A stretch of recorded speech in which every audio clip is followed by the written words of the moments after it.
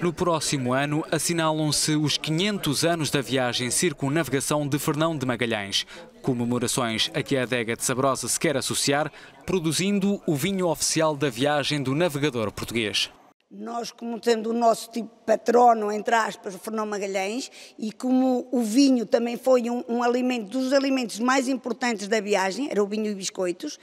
cada eh, marinheiro tinha direito quase a 2 litros de vinho por dia,